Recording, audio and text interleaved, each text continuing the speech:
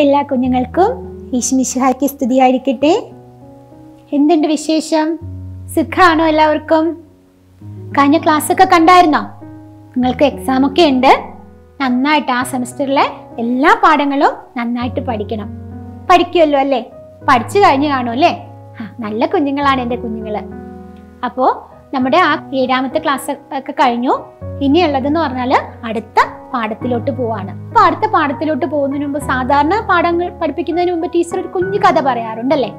Teacher ഇങ്ങനെ വീട്ടിലിരുന്ന് ആലോചിച്ച് എന്ത് കഥയാണ് ഈ പ്രാവശ്യം നിങ്ങൾക്ക് പറഞ്ഞു തരേണ്ടത്? ഇങ്ങനെ ചിന്തിച്ചുകൊണ്ടിരിക്കുമ്പോഴാണ് ടീച്ചറിന്റെ വാട്സപ്പിൽ ഒരു സ്റ്റാറ്റസ് കണ്ടത്. അത് ടീച്ചറിന്റെ ഹൃദയത്തിൽ വല്ലാതെ സ്പർശിച്ചു. അതുകൊണ്ട് തന്നെ അത് നിങ്ങൾക്ക് ഷെയർ ചെയ്ത് തരാമെന്ന് വിചാരിക്കുന്നു. കഥ ഇങ്ങനെയാണ്.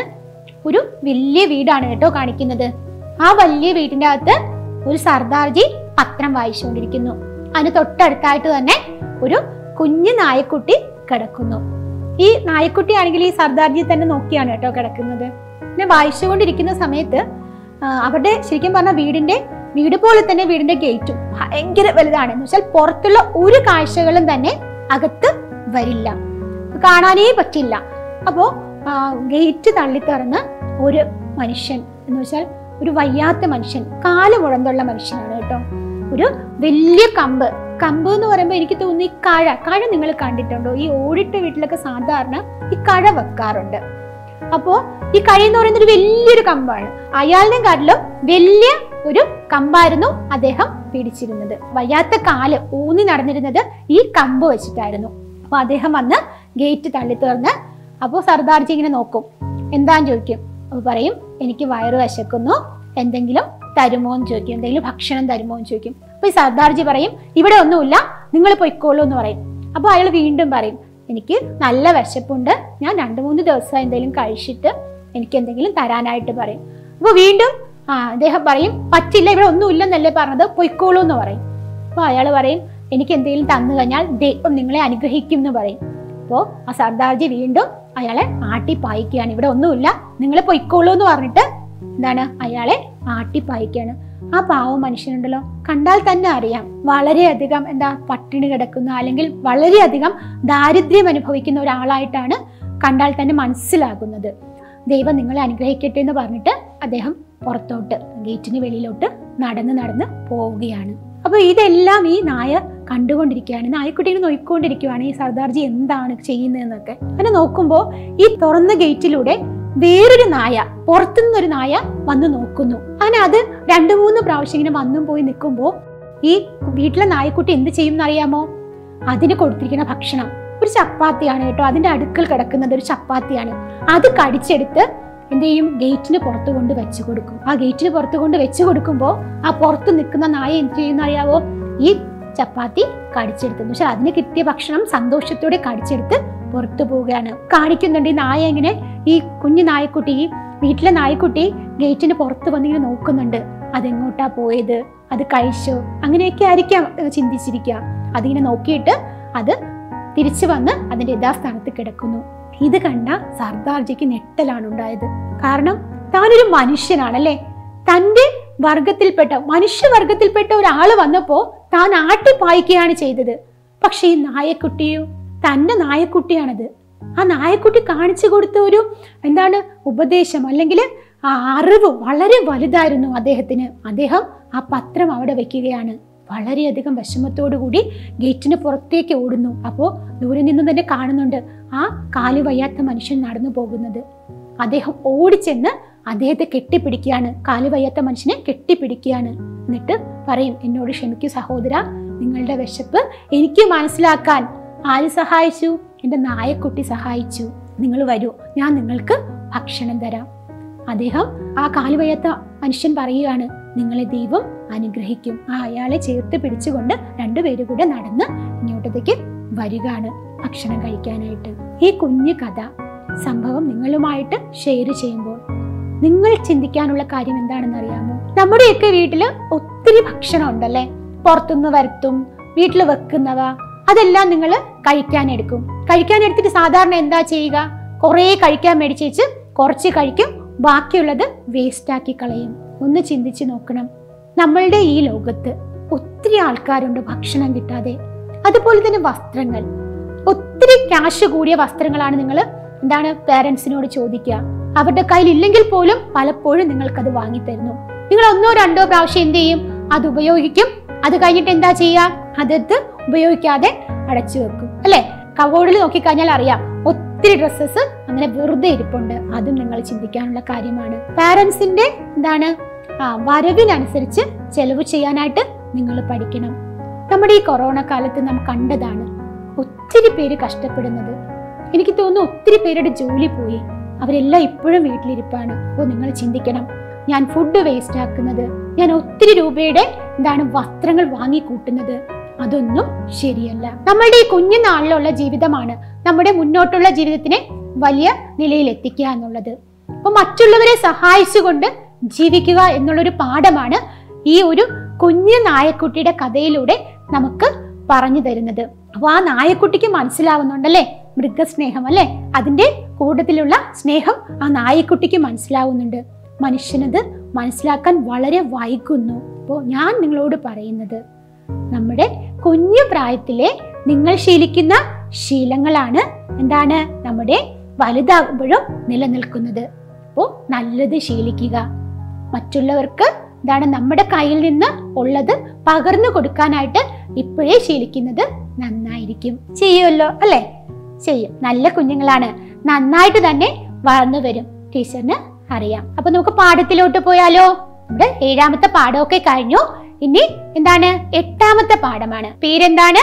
പ്രവാചകന്മാർ. പ്രവാചകന്മാരെ കുറിച്ചാണ് നാം ഇനി പഠിക്കാനായിട്ട് പോകുന്നത്. അപ്പൊ നമ്മൾ പുറപ്പാട് സംഭവത്തിൽ പഠിച്ച കുറച്ച് കാര്യങ്ങൾ ഇതിൽ പറയുന്നുണ്ട്. ഒന്നാമതായിട്ട് പറയുന്നതെന്ന് പറഞ്ഞു കഴിഞ്ഞാൽ ഇസ്രയേൽ ജനം ആരുടെ അടിമത്തത്തിലാ കഴിഞ്ഞത്?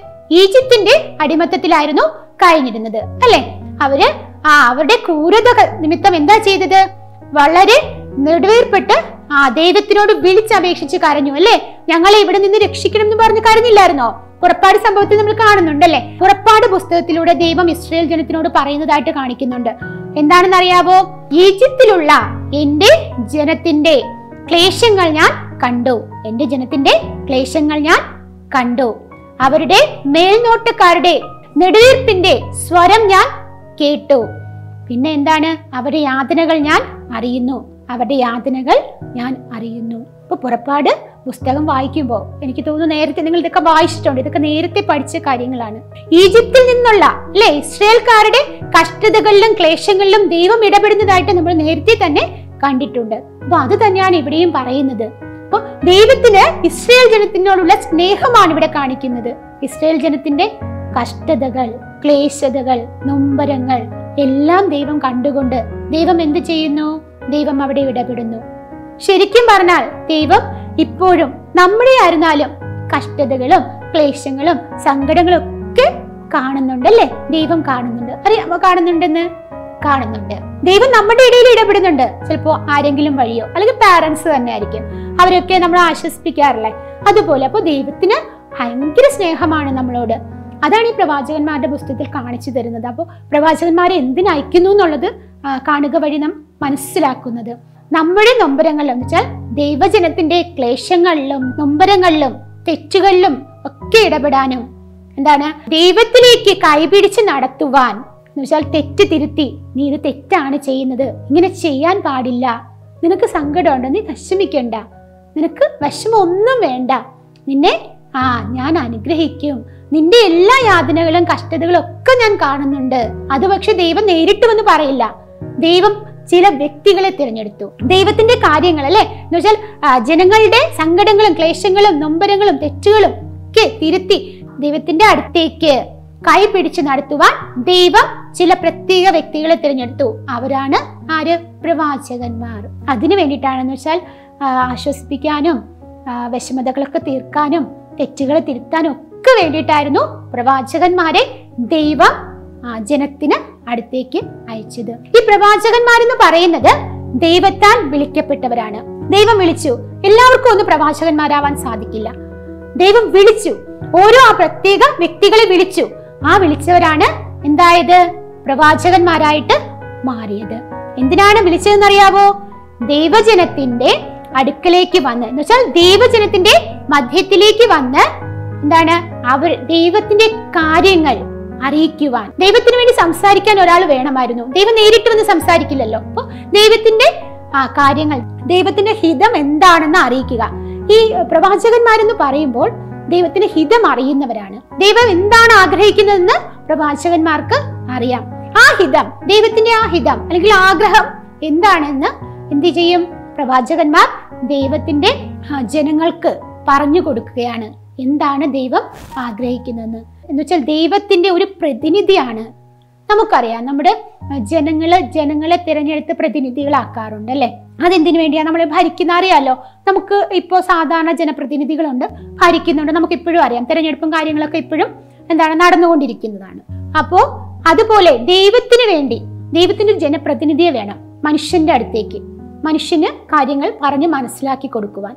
അതിനു വേണ്ടിയിട്ട് ദൈവം അയച്ച ജനപ്രതിനിധികളാണ് പ്രവാചകന്മാരെന്ന് പറയുന്നത്. അവരെപ്പോഴും എന്ത് ചെയ്തു? ദൈവഹിതം അറിഞ്ഞിരുന്നു. ദൈവഹിതം മാത്രമാണ് അറിഞ്ഞിരുന്നത്. അവർ ആ ഹിതം തന്നെയാണ് മനുഷ്യരെ അറിയിച്ചിരുന്നത്. പിന്നെ ദൈവദർശനമുള്ളവരാണ്.